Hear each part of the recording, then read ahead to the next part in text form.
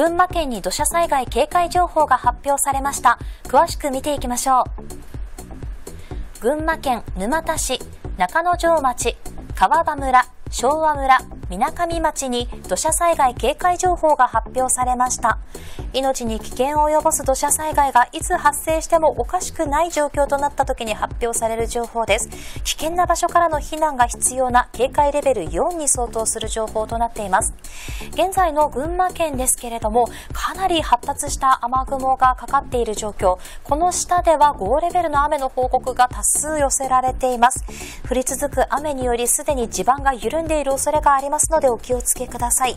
土砂災害の危険度も見ていきましょう。群馬県ではこの雨によりかなり土砂災害のリスク高まっております。赤が警戒紫が危険となっております。この後も崖の近くなど土砂災害の発生しやすい地域に住んでいる方早めに避難をしていただければと思います。詳しいお天気はお天気アプリウェザーニュースでご確認いただけますのでぜひご活用ください。